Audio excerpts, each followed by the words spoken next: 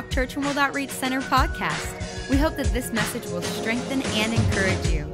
Now, here's a word from Pastor Dan Roth.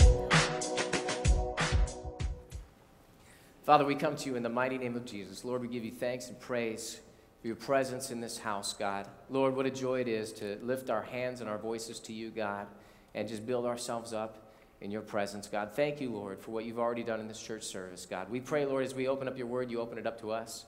Give us eyes that see, ears that hear, hearts that have a good understanding. May we be the good ground where the word is sown. May it produce something in each and every one of our individual lives, God.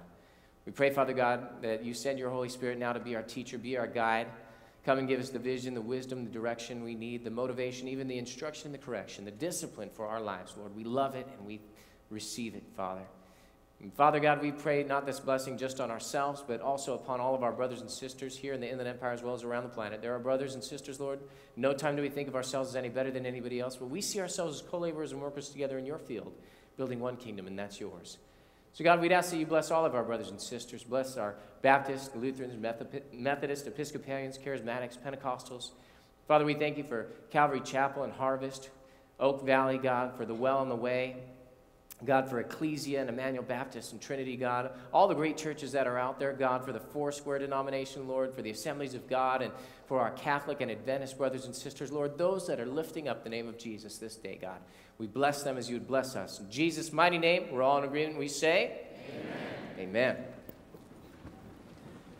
Today, get your Bibles out and go with me to the book of Hebrews, the ninth chapter. We're going to be reading in Hebrews 9. We start in verse 1 and read through verse number 5. Today, the title of the message is The Testimony of Our Heart. We're going to find out what that means as we go through the Word of God. Now, listen, as we go through these verses, you're going to notice that it's talking about some concepts from the Old Testament, from the Old Covenant. Very important that we understand that as we read through these verses, it's giving us a type and a shadow of something that has happened in the past. And the author of Hebrews in chapter 8 has just introduced to us the new covenant, what the differences, the new realities, the new things that are coming on. And now he's going to contrast that with what was happening in the old covenant. See, everything speaks. As you look in the Bible, everything speaks. This is speaking to us about our life, speaking to us about our King, our, our Messiah, our Savior, our high priest, Jesus. And so very important that as we look at these things, that we don't just kind of yawn or sit back and wonder, you know, oh, maybe this is talking about something I need to know, or maybe it's just information, but rather get a hold of the heartbeat of God. I believe that as you get a hold of these things, that you're going to understand and get a greater picture of who God is, of his desires, of his will, of his character. And as you do that, you will have a deeper relationship with Jesus, and you walk out of this place built up and encouraged in faith. Hebrews chapter 9. Starting in verse 1, we're going to read through verse number 5. Hebrews chapter 9, verse number 1 said, Then indeed, even the first covenant had ordinances of divine service and the earthly sanctuary. Now, I want you to notice something. He's talking about the first covenant, talking about the old covenant, right? And it says that it had ordinances of divine service. There was a sacrificial system and there was a daily service that the priests had to do under this old covenant. And it talks about the earthly sanctuary. See, there was a tabernacle or a tent here on the earth that was set up that housed the presence of God at that time, and that was the place and the center of the camp to where they would come and they would worship God and they would make atonement for sin. And so there was something that God is showing us that this is an earthly picture of a heavenly reality. Verse number two. For a tabernacle was prepared. That's the tent we were just talking about. The first part in which was the lampstand, the table, and the showbread, which is called the sanctuary, or some of your translations say the holy place, okay? And so here was a place where the priest could come in and they would do a daily service. They had to tend to the candles there on the, on the lampstand. They had to tend to the wicks and make sure that there was oil that was feeding that lamp, make sure that they were lit because there was no other lamp in that room, and this was inside the tent. Therefore, that lampstand provided light all around. Also, they had a table that had the showbread. There were 12 pieces of bread, six on each side, representing the 12 tribes of Israel. That bread also had to be warm. It had to be replaced once a week, and it was set there before the Lord. It had wine with it and speaking to us in our lives, talking about communion, talking about our fellowship with the Lord. Let's read on. It says, and behind the second veil, the part of the tabernacle which is called the holiest of all. Everybody say the holiest of all. See, now this was a place that was also called the Holy of Holies or holiness of holiness. This was the place where there was a large, thick, impenetrable veil that separated these two chambers inside of the tabernacle, inside of the tent. And in that first part, the priest could come in daily and do their ministry before the Lord. But that second part, only the high priest could go in. He could only enter in once a year and not without the blood of a sacrifice. And he would go into that place and he would make atonement for the sin of the people. Atonement means a covering, it covered the sins of the people for that year. Verse number four, and it starts to de- describe what was there in that holiest of all, the Holy of Holies. Verse number four says, Which had the golden censer and the Ark of the Covenant, overlaid on all sides with gold, in which were the golden pot that had the manna, Aaron's rod that budded, and the tablets of the covenant. Verse number five, and above it were the cherubim of glory overshadowing the mercy seat. Of these things we cannot now speak in detail. Now, the author of Hebrews did not have time to speak in detail about all of these things. And I kind of find it humorous that in later on in the in the book he says, "I've just written to you a short letter, even though it's one of the longest epistles that we have in the New Testament." Right? So it wasn't necessarily that this was unimportant or that he had to skip over it. It is important, and it was something that he could have described for us. However, remember Hebrews chapter eight, verse number one. This is the main point of the things which we are saying is that we have a high priest. And so he says, I, I, can't get distracted pulling out all the truths from this right now because there's a main point, there's a flow of the Holy Spirit that God is carrying us on and taking us on, and we don't really have time right now to discuss this. However, today we're going to discuss these things because we have a little bit of time together.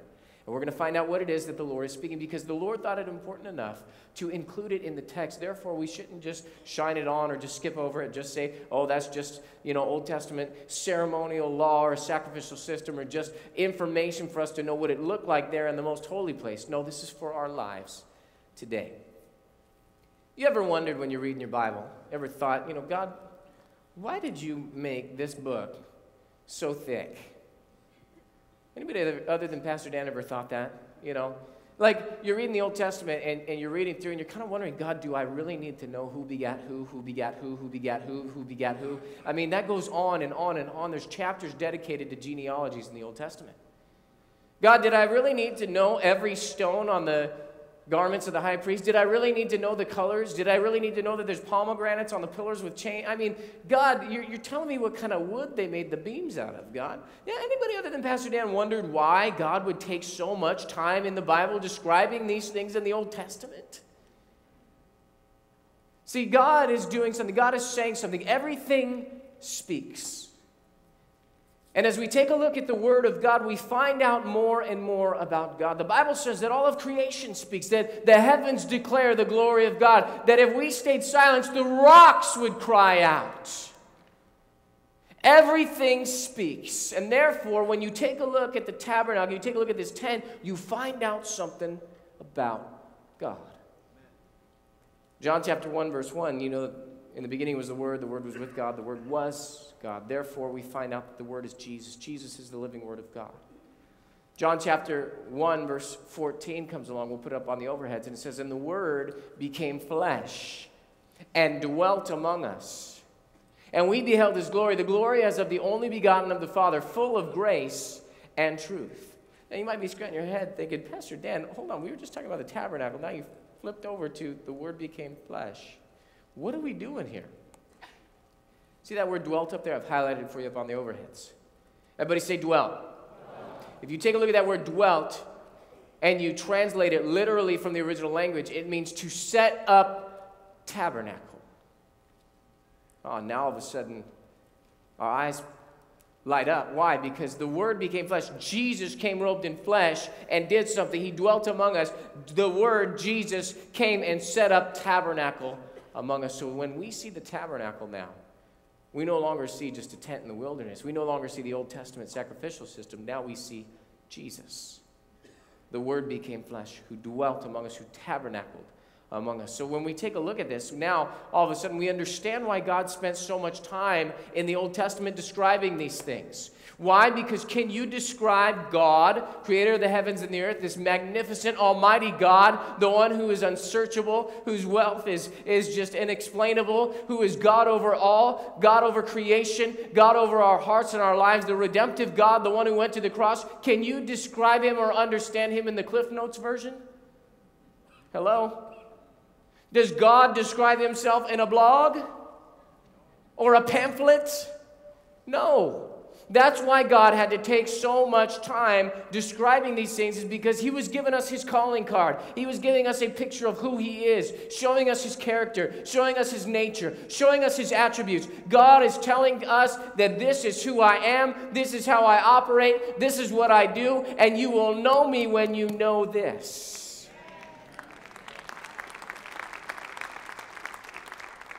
Problem is, in our society, we want everything microwaved, right? I want it in three minutes. I want a full hot meal in five minutes. I want it now. I want it my way. I want it in 30 seconds or it's free. Uh, you know, see, we've got all this instant stuff instant coffee, instant milk, instant everything. It just all is there. Drive through Christianity. And we want God to download us everything in a matter of seconds. And yet God is saying this is going to take a lifetime. And even after that lifetime, you're still going to say, after everything I know, I still am just scratching the surface of how great and how awesome and how mighty my God is.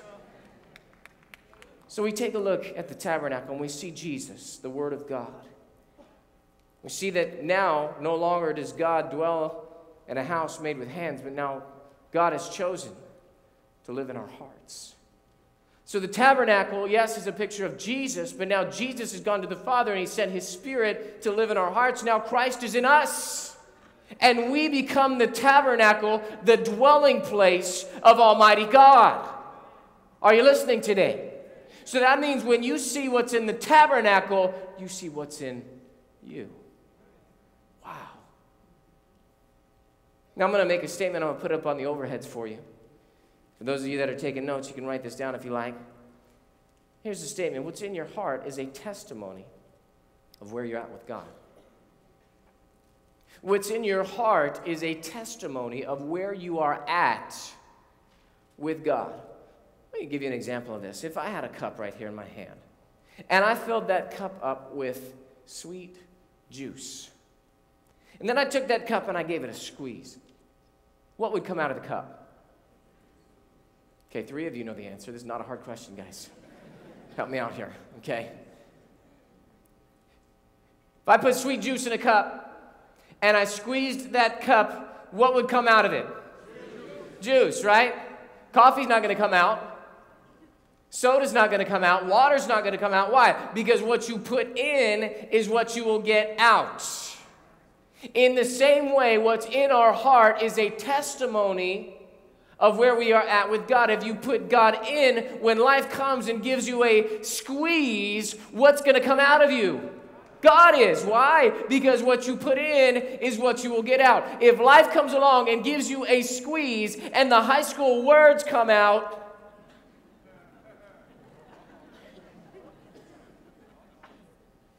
maybe you've been putting the wrong things in.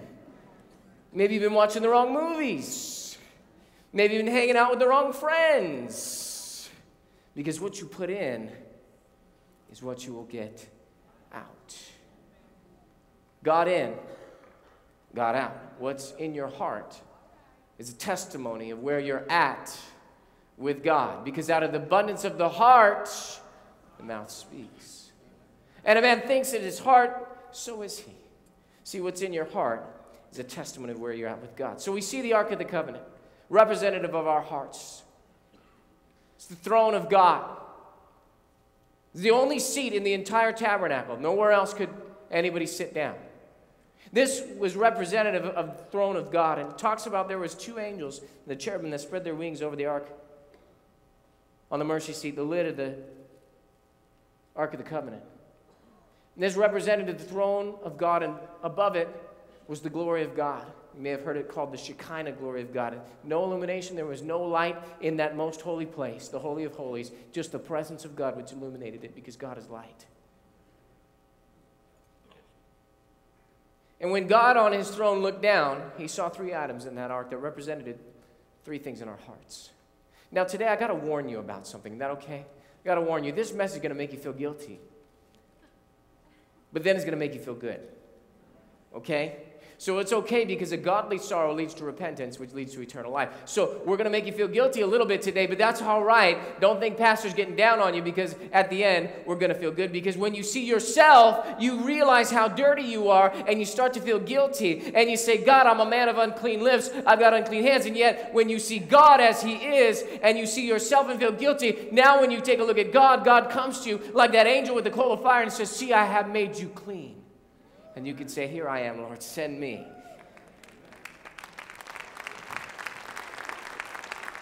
Three atoms that the Ark of the Covenant held. Three atoms that the Ark of the Covenant held. First one we see was the jar of manna. The jar of manna. Very familiar story, Exodus chapter 16. Go there with me. Exodus, second book of the Bible, right after Genesis, you'll find Exodus. Go to Exodus chapter number 16. In Exodus chapter 16, the Lord has delivered the children of Israel from the land of Egypt, and now they are coming out. And as they're coming out, they notice something. My tummy's rumbling. I'm hungry. We've been walking a long time. And all of a sudden, you know what happens? They start to complain. Say, did God bring us out here in the wilderness to starve us to death? I mean, come on now. At least back in Egypt, we had meat to eat. You know, we had stuff that we could eat back there in Egypt. And they started desiring the food of Egypt and they start complaining. And they say, hey, Moses, you know, we've been walking a long time and we're all hungry. And where you at? And, and, and what's God doing right now? Did he bring us out here? And they start to complain. And God says, whoa, whoa, whoa, whoa, wait a second, time out. We're not doing this.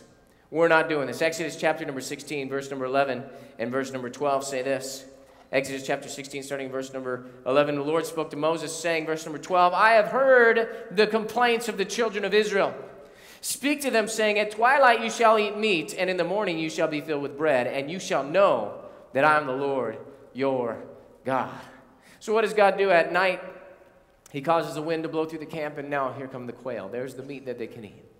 And at night, during the nighttime, a little mist falls on the camp, little, little dew comes down on the camp. Children of Israel come outside and they see it all covering the ground. And they say, What is it? Translated, the original language, manna.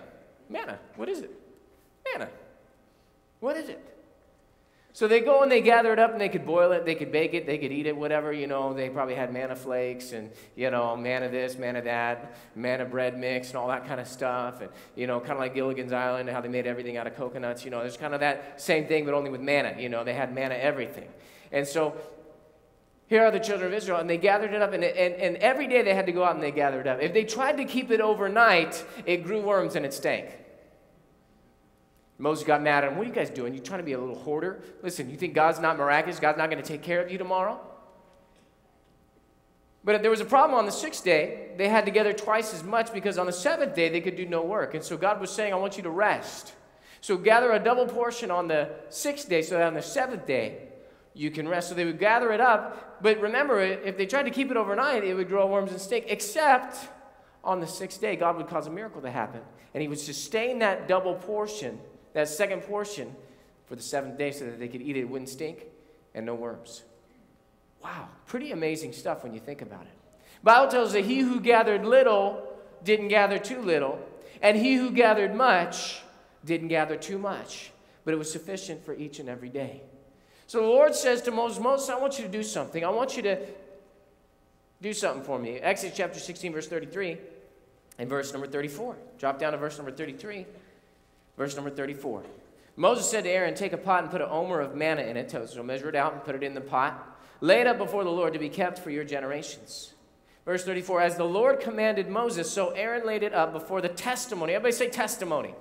See, we're talking about the testimony of your heart. And Aaron laid it up before the testimony to be kept. See, what was God speaking? God was saying that as he sits on his throne and he looks down at our hearts, there is a testimony about his provision for our lives. That God will take care of our needs, and yet complaints came up against him. And therefore, that jar was kept there in the testimony, in the Ark of the Covenant for their generations. Why? To show us that we had rejected God's provision. That was what was in our hearts. That jar of manna symbolized a rejection of God's provision. See, don't you think that God, who is the creator of the heavens and the earth, he speaks and planets exist? just delivered the nation of Israel, parted the waters of the Red Sea, took out the greatest known army on the face of the planet with one swipe of his hand over the waters and just drowned them all. If God did all that, do you think that God knew that they were hungry? Do you think that God knew that they needed something to eat and something to drink? And let's go a step further. This miraculous God who can cause quail to come into the camp and the bread of angels to fall down out of the sky and feed the people. Do you think that God could have, if He wanted to, sustained their bodies through their travels in the wilderness? Yes, He could have. Think about it. Moses went up on the mountain 40 days, 40 nights, didn't have anything to eat, nothing to drink. Now, you could survive with food for that long, without food for that long, but you cannot survive without water for that long. That means that there was a miracle that took place. The presence of God was sustaining the body of Moses. Therefore, the presence of God would have sustained the children of Israel. They didn't need to eat or drink. Yet their appetites were leading them to complain, and what was in their hearts came out of their mouths. In the same way, oftentimes we wonder about God God, what are you doing? God, I don't know what you're doing. God, I don't know what's happening here, Lord. This job is just not enough. God, I'm not getting paid enough. Lord, I don't know what you're doing over here. God, I got the bills lining up and I just lost the house. And, you know, it looks like they're doing layoffs again, God. And we start to complain, God, am I, am I going to have enough? Our appetites lead us. Lord, I don't have enough. God, I can't be like them. God, I can't buy the cars. I can't buy the house. I can't buy the clothes. And yet God is saying, don't worry. Don't worry, I will sustain you. I will take care of you. Gather it up, get enough, because he who gathered little didn't gather too little. See, you get some of the Lord in your side, get some of God. If you just got a little piece, that'll be enough for your day. And if you can get all as much as you can of God, it will never be too much. God wants us to rest in Him, in His provision. Second item that we find in the ark, the second item that we find was Aaron's staff that had budded. Aaron's staff that had budded. Now, the children of Israel are traveling, they're wandering in the wilderness. You want to turn with me to the book of Numbers. Numbers, chapter number 17. Go from Exodus through Leviticus to the book of Numbers, chapter number 17. As they're wandering in the wilderness, there's a guy by the name of Korah and his family. And they come up against Moses and they say, Who, who made you the leader? I'm just sick of this. What is this nepotism, you and Aaron and Miriam and all this kind I'm just done. Who made you the leader? I want to be the leader. And so he gathers people to himself, and Moses says, uh uh-uh, uh no, this is not happening. It, listen, you want to know who the Lord has chosen? God's going to do a new thing. He's going to open up the ground, and the earth will swallow up the rebellious people, and it will close up behind them. So he commands the children of Israel, get away from them if you don't want to be swallowed up you're not in this rebellion, stand back and watch what the Lord will do. The ground opens up underneath Korah, his family, and all the rebels and their families, and it swallows the people up, the, the, the, the men, the women, the children. It swallows their animals up, all their livestock, all their tents, all their goods, and then closes right up behind them. If I would have been there watching that, and I was a part of the nation of Israel, and I looked and there was Moses saying the ground was going to open up, and there was Korah. The ground opened up and swallowed him. I'd have been like, hey, Moses, do you need your car washed? I'm available today, tomorrow. What, what, you need your shoes shined? I got this, man. Oh, wait, wait, wait. Oh, no, I'll gather the manna. You just, you just sit down, okay? I got your manna for you today, tomorrow too. Right? That's just me. That's just me. I would have been right there beside Moses. Not so with the children of Israel. We find out that after that happened, they start to cry. They start to complain. What was in their heart came up out of them, and they started to say, Woe is us, God's going to kill us all, and who made Moses the leader? And God says, Enough! I'm done. I don't want anybody else to die. Go get the leaders of the tribes. I want you to take from each of the heads of the tribe their staff, their rod signified their authority over that house. And I want you to gather them up and put them before the tent of meeting. Overnight, I want you to write their names, whoever stick it is, write their name on it, okay? Carve it out, whatever you got to do. Make sure that you know whose staff is whose. In the morning, I will show you who the leader is that I have chosen. Okay? Now look at what happens. Exodus, I'm sorry, Numbers chapter number 17. Numbers chapter number 17. Look at verse number 8. Numbers chapter 17, verse number 8. Now it came to pass on the next day that Moses went into the tabernacle of witness. And behold, the rod of Aaron of the house of Levi had sprouted and put forth buds, had produced blossoms, and yielded ripe almonds. Now, in case there was any question in the children of Israel's mind, God didn't just cause the rod to sprout. That would have been enough. But just in case somebody said, oh, that's not a sprout, yeah, uh, what are you crazy? That was already there. It put forth buds. Now, we would have thought that's good enough, but no, no, no, no. God said not just buds, it had produced blossoms. And just in the event that somebody was dumb enough to come and say, well, you know, Aaron's wife, she really is good with flowers and stuff like that, and she made that happen. What did he do? It yielded ripe almonds. See, God is telling us something that number one, he does not do anything halfway and that you don't have to wonder about his direction and his leadership in your life. That God has selected leadership, God has chosen to show us the direction, and God is our authority, and God is the one who sets up authority in our lives. So we understand and we see that God was telling them something. Numbers chapter 17, verse 10. Take a look at it with me. And the Lord said to Moses, Bring Aaron's rod back before the testimony. Everybody say the testimony because we're talking about the testimony of our hearts. Bring Aaron's rod back before the testimony to be kept as a sign against the rebels, that you may put their complaints away from me, lest they die. See those last three words up there? Lest they die. In other words, God's judgment, God is holy, God is the righteous judge. And as those complaints were coming up, and that rejection was coming up, and that rebellion was coming up, what happened to Korah? Ground opened up, ground closed up. They were dead. God is merciful, so much so that he didn't even want the rebels to die, so he set that up there before the testimony. Because this symbolized something, it symbolized a rejection of God's leadership. Aaron's staff that had budded symbolized a rejection of God's leadership. So, there, as God looked down from the throne, what did he see? He saw a rejection of his provision, a rejection of his leadership, and finally, what did he see? He saw the tablets of stone, tablets of the covenant the Ten Commandments. This is a pretty easy one. But turn there with me. You're there in Numbers. Turn the next book to Deuteronomy. Deuteronomy chapter number 10. Just take a look at it. Deuteronomy chapter number 10. You know the story, maybe you've seen the movie. Moses goes up on the side of the mountain. What happens? God carves out tablets of stone, writes the Ten Commandments on them. Moses grabs the Ten Commandments. Now, Moses doesn't know this, but while he's gone, the people start to complain once again. People start to rebel once again. What happens? They go to Aaron. They say, Aaron, we don't know about where this Moses guy has been. You know, we don't know what happened to him. But listen, he's gone now, and we need you to lead us. We need you to, uh, you know, make new gods for us that brought us out of Egypt. We'll worship those gods. So Aaron says, Give me all your gold. They give him his gold. What does he do? He fashions a, a cow. And they start to worship a golden cow that Aaron had made, that they said, This is the Lord who brought you out of the land of Egypt. Then they rise up to party and they have this wicked party. And while Moses is coming down, he starts to realize something's gone wrong. In fact, Joshua said there's a war in the camp. And Moses says, No, that's not the sound of war. Something else altogether is going on. They go down there and they find the people engaged in all sorts of filth, all sorts of wickedness. Moses gets mad. The Lord stops it. Moses goes, he grinds up the cow. He puts it in the water. He makes them drink it. I mean, they really had to eat their mistakes that day. Are you listening?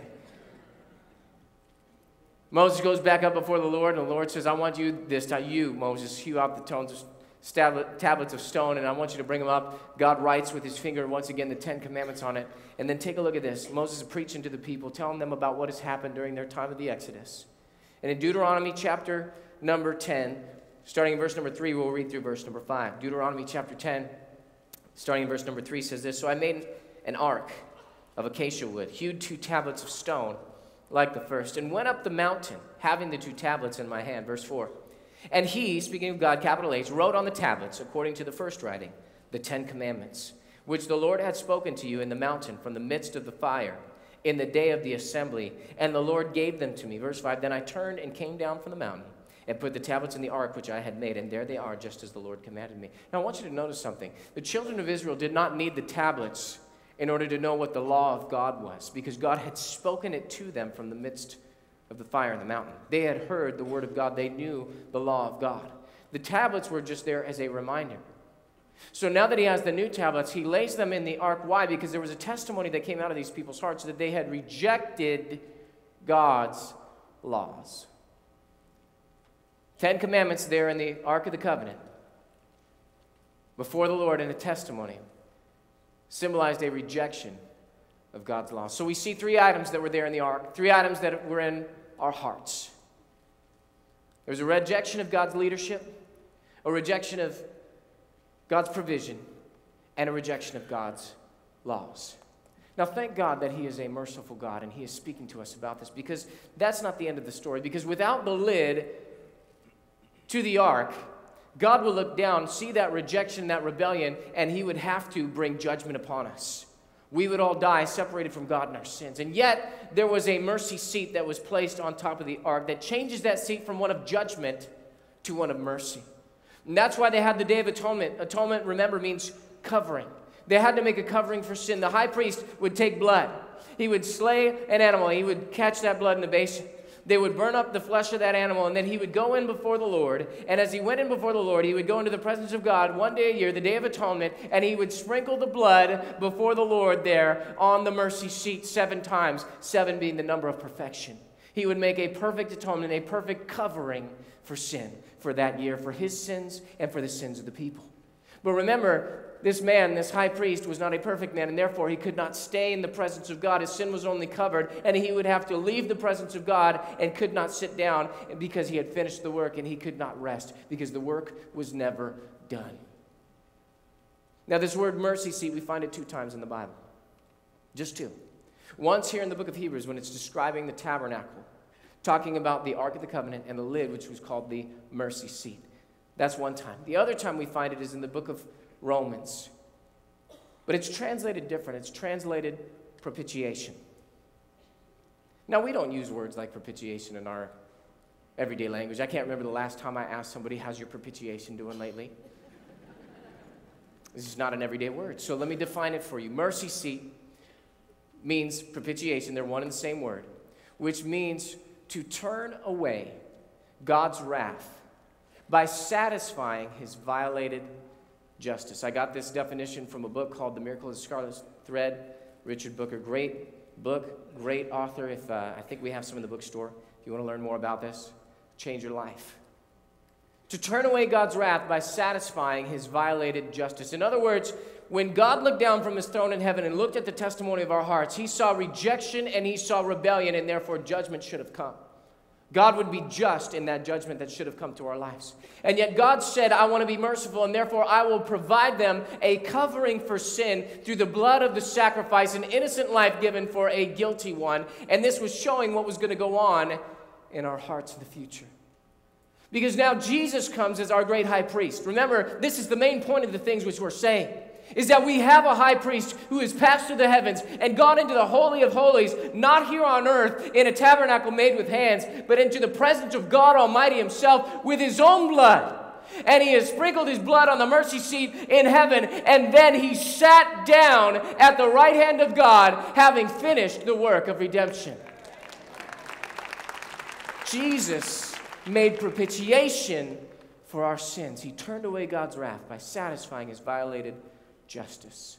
That means when God looks down from heaven at the life of a believer, he no longer sees that rejection and that rebellion. He sees that we are covered in the blood of the Lamb and he sees Jesus on us.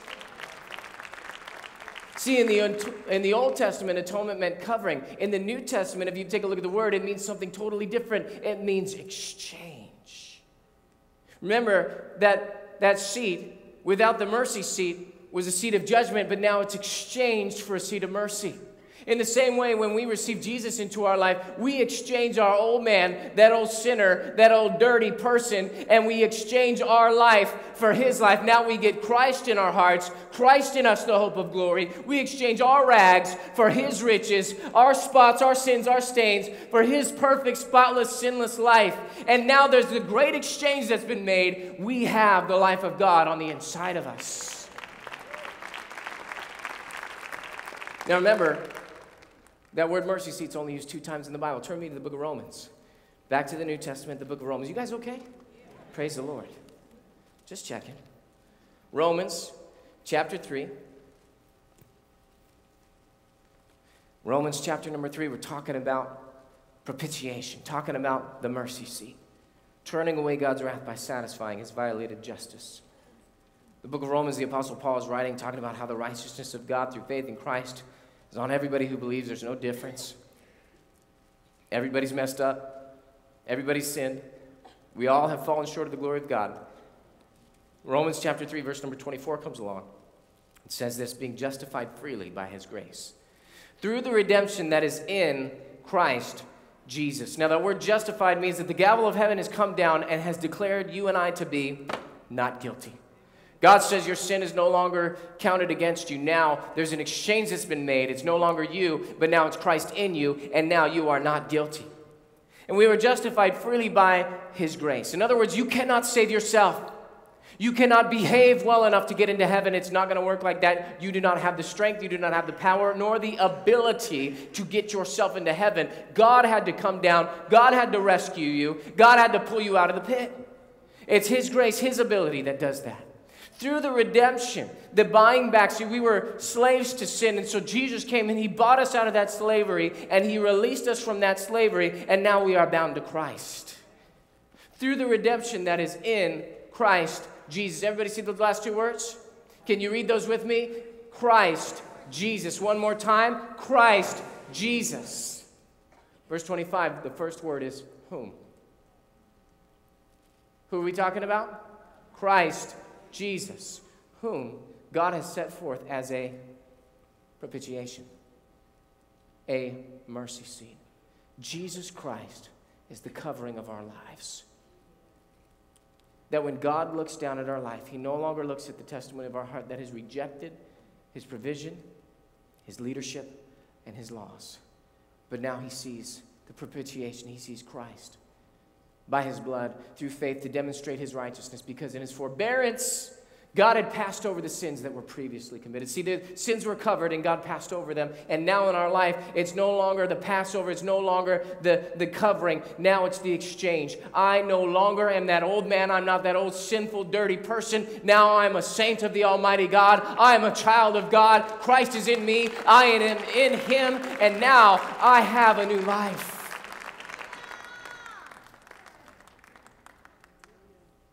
God looks at your life and He's pleased because there was an innocent life, Jesus, that was given for a guilty one, all of us. Now, Jesus has become our high priest. He's become so much greater. Jesus is the main point. And there's a couple of things when you take a look at the testimony of our hearts. What are our hearts saying now? As believers, what is it that God sees when He looks in our hearts? Well, He still sees three things. Those same three things, as a matter of fact, because Jesus has become number one, Jesus has become our new provision. We're not gathering manna anymore, we are going after Jesus. And anything that you have need of, you will find it in Christ Jesus. In fact, the Bible says that. It says, My God shall supply all of your needs according to his riches and glory. How? By Christ Jesus. So you have a need in your life. Don't go look into a man. Don't go look into your bank account or a paycheck or your checkbook, anything like that. Don't look to your husband or wife for your provision. No, those are not your provision. Those are not your providers. God is your provider. And if you have a need, God already knows the need you have, but you've got to go to Him. You got to connect with Him.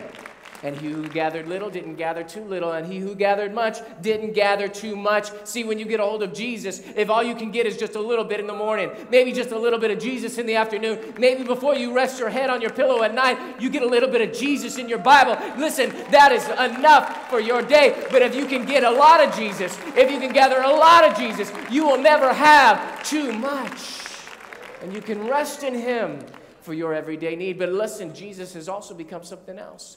Jesus has become our new leadership.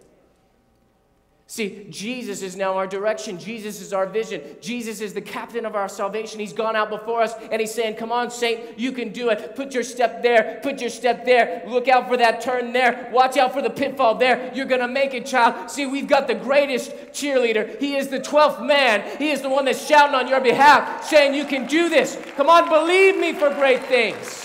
Follow my lead. And as you follow Jesus, don't take your eyes off him. He's your leadership. He's your direction, He's your vision, He is your wisdom. God will direct your life and you will go into amazing places and do amazing things. Finally, Jesus has become our new law. No longer are we bound by commandments written on tablets of stone. No, now it's written on our hearts. And Jesus said, A new commandment I give to you. See, he didn't, he didn't say that the Ten Commandments were bad. Those are still good, still very applicable. But now he says, The new commandment I give to you is the law of love. That you love the Lord your God with all your heart, soul, mind, and strength. You love your neighbor as yourself. See, if you do that, when you love God, you will not set up an image before him. You will not have an idol before him. You will set no other gods before him. God will be number one. He will be priority. He will be your everything. When you love God like that, you will fulfill those commandments. And when you love your neighbor as yourself, you're not going to murder. You're not going to steal. You're not going to commit adultery. Why? Because I love them. Why would I want to harm them? I'm in love, and therefore Jesus now is our new law. We don't need a, a, million commandments telling us how to do each and everything, do's and don'ts, and all that kind of stuff. No, we need to be, operate in the love of God. God is love. God is on the inside of us. Therefore, the love of God can pour forth from our lives, and we can do what God has called us to do and be what God has called us to be.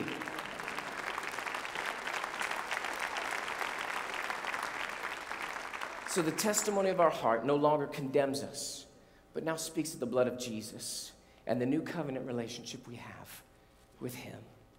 When we know this, we see why God spent all this time describing Himself. Are you listening? That's why God made such a thick book, is because God is a big God. And you can spend your entire life getting into this, studying this, learning this, going over this, and you will never, never exhaust the wisdom and the knowledge and the riches of God.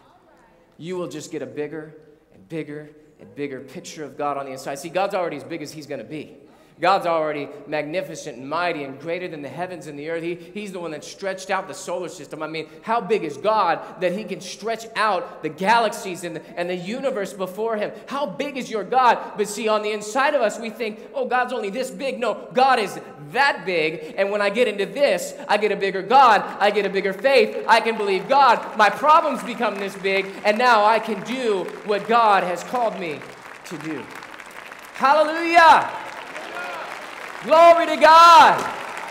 Come on, church, let's give God a praise that He's worthy of. He's a great God. He's a big God. He's your God. Hallelujah. Woo! I so appreciate you guys. You guys were great today. And uh, I really believe that you got something from the Word of God. Let's not stop there. I want to make sure that before you leave this place, that your heart's right with God. And that if you were to die, that you'd go to heaven and not go to hell. Now, sometimes people say, well, Pastor, I don't believe in hell. Well, that's a convenient way of thinking, but it's not the best way of thinking. Here's why because the Bible talks about hell, Old New Testament.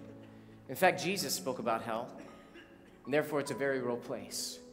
And just by burying your head in the sand doesn't mean you're going to miss it. You're going to have to face the reality of it and make sure that you don't go there. God doesn't condemn us to hell. We get to choose with our lives where we go, whether heaven or hell. Now, sometimes people say, well, that's good because, you know, all roads lead to heaven. And, and, God, you know, took care of that. And therefore, you stay true to yourself. I'll be true to myself. Those guys over there can do whatever they want to do. Doesn't matter. We're all going to make it to heaven. But do you know that nowhere in the Bible say that all roads lead to heaven? It doesn't work like that. Jesus came and he said, I am the way, the truth, and the life. No man goes to the Father except by me. What does that mean? That means God's heaven. You're going to have to get there God's way. And don't you think God, the creator of the heavens and the earth, the one who wrote the plan of redemption, carried it out in his son Jesus, beaten, bloody, and hung on a cross? Don't you think if he went through all that, that he would tell us how to get to heaven? Well, he does here in his word. God's heaven, going to have to get there God's way. Now, sometimes people say, well, you know, I, I know that God lets good people into heaven. I've been good, done a lot of good deeds in my life. In fact, my good outweighs my bad. Used to be bad. Clean up my act. Now I'm good. And therefore, I'm going to get to go to heaven, give money to charities, help people out, nice to my neighbors. Good. God sees that, and God's going to let me to heaven. Did you know that nowhere in the Bible? Check it out. Nowhere. Nowhere. Say you can be good enough to get to heaven. Because just like we talked about in the message today, you cannot make it there on your own merit. You can't work hard enough to get there because the standard is perfection. The only one who is perfect, his name is Jesus. And all have sinned and fall short of the glory of God. You're not going to make it to heaven by being good because you can't be good enough. Sometimes people say, well, Pastor, I was raised in church. Parents told me we were Christians growing up. They hung a cross or St. Christopher around your neck, had you baptized or christened as a child, took you to religious classes, Sunday school, Sabbath school, catechism class, had you baptized or christened. You're born in America. America's a Christian nation. Everybody born in America is going to heaven. We're not any other religions. We're not Buddhist, Muslim, Hindus. Therefore, we're Christians headed for heaven, denying hell, right? Wrong. You know that nowhere in the Bible, check it out. Nowhere does it say that because you were raised in church, parents tell you Christian, that makes you a Christian.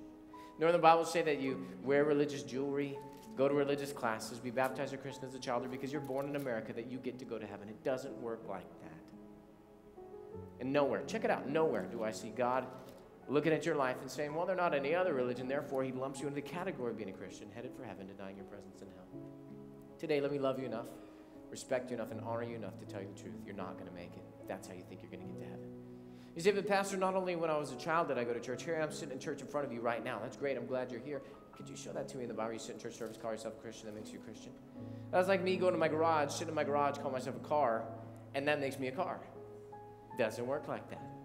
Can't sit in church, call yourself a Christian, that makes you a Christian. You say, but okay, I understand that, but my last church I got involved, I helped out, sang in the choir, carried the pastor's Bible, made decisions in that church. People thought of me as a leader. I, I taught in the Bible class, I even got a membership card to that church. That's great. I'm glad you did those things. Could you, could you, could you just show that to me in the Bible? Where your church involvement gets you into heaven, makes you right with God. Where God says, do enough in church and you get to go to heaven. Listen, God is not looking for your membership card to a church or your attendance record to how many times you showed up to serve, and then He lets you into heaven. You might be thinking, but I know God. I mean, I, I know about Jesus. I, I, celebrate Christmas, sing the song every year of my life, celebrate Easter and the resurrection. I can quote scriptures to you, Pastor. That's great. I'm glad you can do those things. Show that to me in the Bible where you have head knowledge about who Jesus is, knowing who he is in your head, celebrating a holiday, you get to go to heaven. It doesn't work like that. In fact, if you read your Bible, you'd know demons believe that Jesus Christ Son of God. They're not Christians. If you'd read your Bible, you would know that the devil himself knows who Jesus is and can quote scriptures out of his mouth, and yet that doesn't qualify him for heaven. So, everybody, look up at me here for a second. Not about what's in your head, not about having mental assent towards God, knowing who He is, or being able to quote some scriptures, but rather this is about your heart.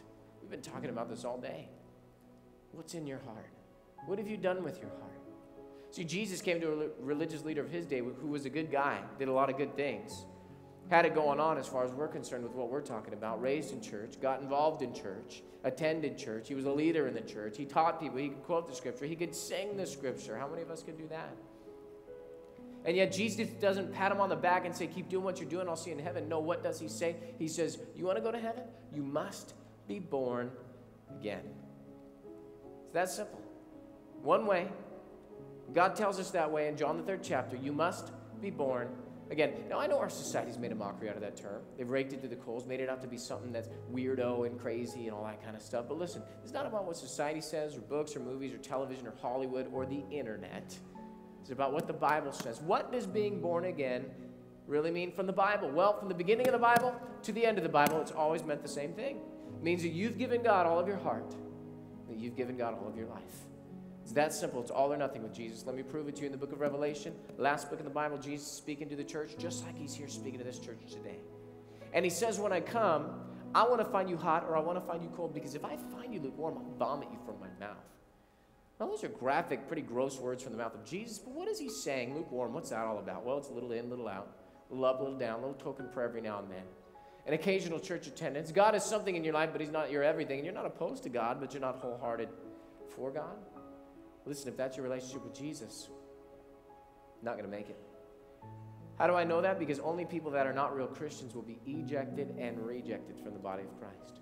So today I'm going to give you an opportunity to give God all of your heart and to give God all of your life. In a moment, I'm going to count to three, just like this. One, two, three. Bang! Pop my hands together. When you hear that sound, bang! When I say three, that's your opportunity to raise your hand. What you're doing by the raising of your hand is you're saying, I want to give God all my heart. Want to give God all my life. I want to be born again, headed for heaven, deny my presence in hell. I'll see your hand go up. I'll count it. You can put it right back down. You say, whoa, whoa, whoa, whoa, whoa. Wait a second. Time out. If I raise my hand, I'll be embarrassed. Uh-huh, you might be embarrassed. Let's get past that today. Because think of the trade-off. Isn't it better to be embarrassed for a moment than it is to end up in hell forever and ever and ever and ever? No one make that trade. Yet the devil thinks you're dumb enough, so he's trying to talk you out of it. You tell that devil to go jump in a fiery lake. You go on with God. Listen, no one's judging, no one's criticizing, No one's condemning. We all love you. We all want you to do this. And in fact, we've all done it at one point or another, in one way or another in our lives. So you're in good company. It's a safe and friendly place where you can give God all your heart and all of your life. And even if you're embarrassed, isn't that better than ending up in hell? Come on. Today, who should raise their hand if you've been running from God instead of to God? I'm speaking to you. Who should raise their hand if you're not sure about your salvation? Come on, today make sure. This is your day of salvation. Who should raise their hand? You've never done this, never given God all your heart and all of your life. I'm speaking to you. Or finally, who should raise their hand? If you're lukewarm in this place, you know that's the condition of your heart when I described it. You can make a right relationship with God, acknowledging your need for Jesus right where you're at today. All across this auditorium, back in the family rooms, wherever you're at, watching my television, the foyer, or the Love Rock Cafe, you can lift your hands and then tell an usher or come into the church service right afterwards. For those of you online, you can lift your hand and God is watching right where you're at. And then you can click the button that says respond to God, and someone will lead you in a prayer. I'm going to count to three, pop my hands together. This is your time. This is your moment of salvation. Here we go, all together. One, two, Three, let me see your hands. Just raise them up high for me. Thank you. There's one. There's two. God bless you. Who else? Three. Thank you. Four. God bless you. Up on top, is there is that a hand up there? Thank you. Five. God bless you. Who else today? Six over here. Gotcha. Six. Is that a hand up there? Wave it at me if it is. Okay. It's not. Thank you. Seven. God bless you. Who else today? Seven wise people already. Anybody else, real quick? Seven. There's eight. There's nine up in the family rooms. God bless you guys. Who else today? We're at number 10. Thank you, number 10. Got you right here. Number 10. Who else today? Real quick, come on. Just pop it up back back there. Thank you. There's 11, 12. God bless you. Dozen wise people. Anybody else, real quick, that I didn't already see? Right over here. Wave it at me if I didn't see you yet. Okay? They're all going this way. Got you right there. Thank you. Number 13. Who else today? Who else today? Number 13. Number 13. Anybody else, real quick, that I didn't already see? Up top. Thank you. 14. God bless you. God bless you. Anybody else? Come on. Come on. If that's you, just pop it up when I'm looking your direction. Anybody else? Come on, number 15. You're sitting there wondering if you should. Yeah, you should. Go for it. God's tugging at your heart. Anybody else? Anybody else? All right, let's give the Lord a great big praise for 14 wise people. Hallelujah. Now, everybody, I want to thank you guys for allowing us to do that because if we didn't do that, there would have been 14 wise people that would have walked out of this place thinking that they were right with God, and if they would have died, would have went to hell. But thank you for allowing us to do that and for believing God with us for people to respond. Now, listen, you don't get saved just by raising your hand. You got to give God all your heart, you got to give God all of your life. So, in a moment, we're all going to stand and give a clap and a shout. As we do, no one leaves because we're trying to get people to come forward. We want to change destinies today. Okay, so if that's you, you raise your hand or you should have raised your hand. Once you get a hold of your coat, purse, sweater, Bible, a friend if you need a friend. Once you get in the aisle and meet us up front because we're going to change destinies today, but we can't do that until we get you down here. So let's all stand and welcome them. You come right now. If you raise your hand, you should have raised your hand. You come. Just make your way to the front right now.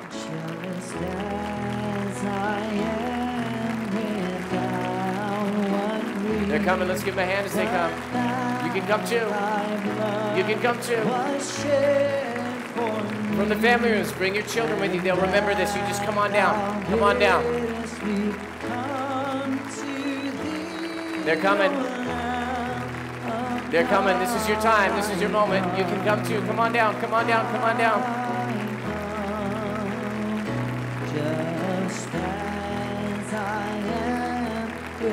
They're still coming. Come on. Let's give the Lord a praise. You can come too. Just make your way to the front right now.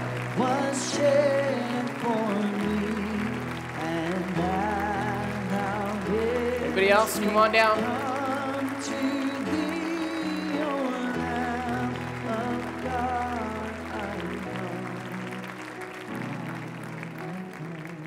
Hey guys, thank God you guys have come. Now listen, I don't think everybody came, and, and that's a shame. But you know what? I, I, can't make you come. But listen, if you raised your hand or you should have, but and you know you need to be here, while I'm giving some instructions, it's still not too late. You can come down, and you can join this group up front. Okay? You guys, right here, look over here to my right, your left. See this guy waving at you? Looks kind of like me. He just forgot the tie, just like Elijah did. I don't know what how they missed the memo today, but anyways, he's a really good guy. Nothing weird's to go on. Okay? He's to lead you in a prayer to invite Jesus into your heart. You're going to be born again. Then He's going to give you some free information, some free literature that'll help you to find out what you do, what to do next in your walk with God. Okay? It's it's free, easy reading. Okay, and it'll just help you to get your bearings. What, what do I do now that I'm a Christian? Okay, and then finally, He's going to give you a friend that we have here in the church. Yeah, we give away friends here at the Rock. Okay, and we call them spiritual personal trainers. It's easy, it's free. He'll describe how it works, and then he'll let you come right back out. Now, listen, give us a year here at the Rock just sitting under the Word of God. At the end of that year and for the rest of your life, you're going to be so blessed. You're going to be like, man, I didn't know it could be like this. All right? It all starts with that spiritual personal trainer, that friend in church who will help you to get strong in the ways of the Lord. So he's going to take you right over there, then I'll let you come right back out. Your friends will wait for you. Let's give them a hand as they go. Hallelujah. Come on, let's give the Lord a great big praise. Woo.